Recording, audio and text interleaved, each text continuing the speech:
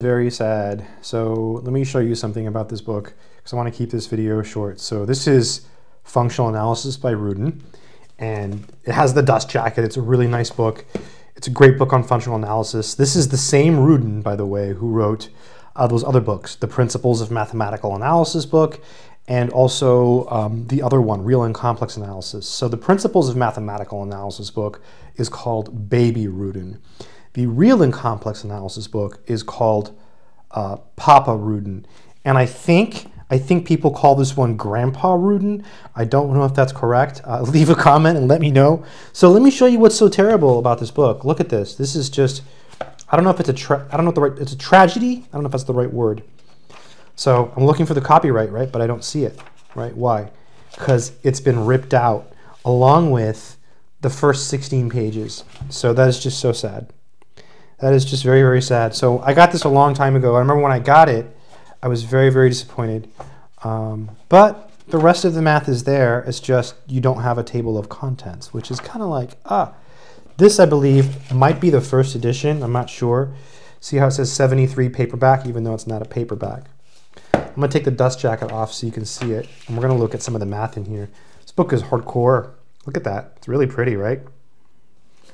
Yeah, it's nice green. Just gonna give it a whiff here. It's just, ah, just, oh, I could smell the mathematics. Mm, mm, mm, mm. Good stuff. Good stuff. Let's put it back on carefully here. There's a stamp on it too. We'll investigate that stamp.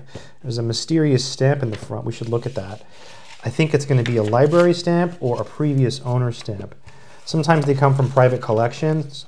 Um, people people put stamps on their books, uh, bookmarks. I, I, write on my book sometimes. Um, so for example here, it says Ex Libris JFH John F. Hill. Maybe that's the library name or maybe that's a person, one of the two. Probably the library name because it says Ex Libris. Unless they wanted to emphasize that, oh no, John F. Hill is the previous owner. Here we go. So this, this belonged to John F. Hill. So it was an ex-library, and then maybe it's from his library, right? It's from his library, and so they stamped it. You know, it's kind of cool. Or maybe he, yeah, it must be from his library because if it was from a, a regular library, it would have the, like the thing for the library card. So kind of interesting, right? But everyone has a way of marking their books. I always think it's it's kind of cool. Um, so yes, wanted to show you this book. It is quite sad that that is missing. That's really all I have to say about it. I'll leave a link in the description, by the way, if you want to check the book out.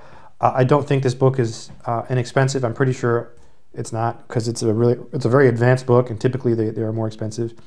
Um, yeah, this particular copy I'm going to part with, so I actually put it on eBay for a penny. So if you're watching this video, like, and I just posted it, there's a link there. Uh, if it's been like a couple weeks, it, you know, the book is gone, but it's an interesting book, and I just wanted to show it to you. Grandpa Rudin. Take care.